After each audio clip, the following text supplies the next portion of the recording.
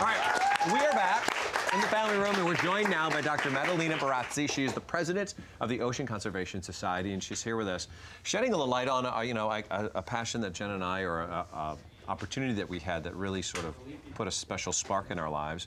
You've been studying dolphins here in the Santa Monica Bay Area. How long have you been studying overall, though? I studied dolphin almost uh, 24 years now, of which uh, the last 16 here in Santa Monica Bay, so a long time. so you've had numerous encounters with them. One in particular that we talked about at the beginning of the show. Can you tell us the story of yeah, that, that was something that happened about 10 years ago. Uh, I was following bottlenose dolphins that move along shore. You were following, excuse me, the? They're called bottlenose dolphins. Oh, the bottlenose. The bottlenose. Flipper, basically. The flipper. Everybody knows Okay, flipper. the bottlenose dolphin. Okay, yes. And they move really close to shore and they stop here and there to feed. But that day, one of the individual in this group moved offshore. And that was kind of unusual for uh, um, these uh, dolphins. So we followed them for our, with our research boat.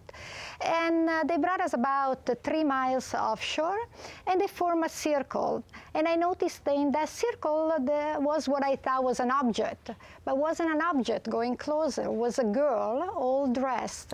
And uh, as we moved closer, she raised her head as a plea for help. So I immediately called the Coast Guard and they told us, don't do anything. We come there. And uh, I look at this girl, she looked very hypothermic. So we decided to disregard the advice of the Coast Guard and take her aboard with us. And uh, we couldn't communicate and we took her back and I noticed she was all dressed. She had a plastic bag attached to her neck. And the Coast Guard met us going back and then we went uh, to the Marina del Rey Hospital and the doctor told us that the girl was safe and she would be okay. And she was from Germany, vacationing here. And she, in a letter in her bag, she was committing suicide. Oh.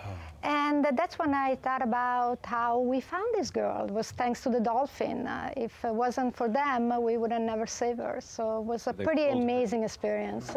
Wow. Wow. Yeah. So how did they perceive that three yeah, miles away? away. Yeah. yeah. that's uh, you know like they, they perceive they, the distress. They perceive uh, who knows? They perceive wow. the distress. They hear very well uh, underwater. Uh -huh. They can uh, you know they can echolocate. They communicate with uh, other dolphins. So who knows exactly how they found her, but they did. So, but as part of the research that you do on dolphins, what are you currently researching right now?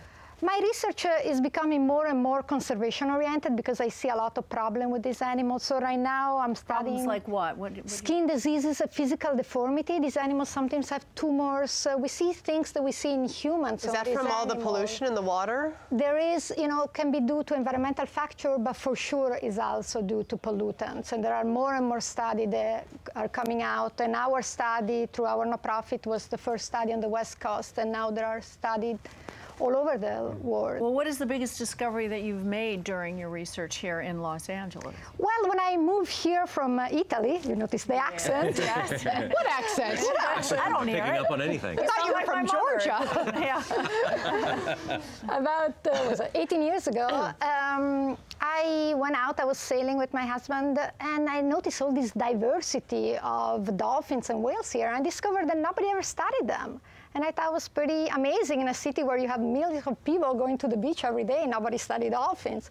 So the first thing was really to understand what species are here, what they are doing. And then I went to study more specific things, like I studied the interaction between dolphins and sea lions. The sea lions are really funny. They follow the dolphins uh, because they use the same feeding area. So it's, uh, this is one, one of the study. I study their behavior, how they interact with each other, uh, and uh, with other species. Are the mothers the same with their children? It's a very, it's a very good question. I talk about in my book, especially in my last book, Dolphin Confidential, how the relationship between a mother and a calf, in a way, is very similar.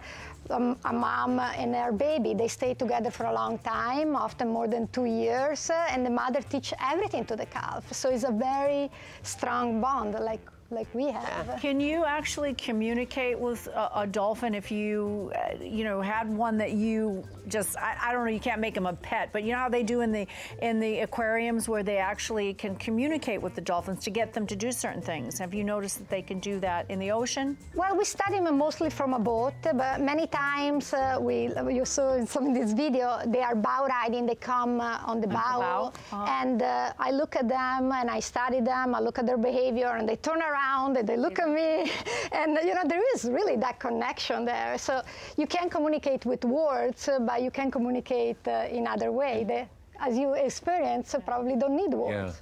The um, tell us a little bit about how you can adopt a dolphin. Yes, uh, good question. Yeah. Through our nonprofit uh, Ocean Conservation Society, we have this, uh, we call a family of dolphins that we put out for adoption.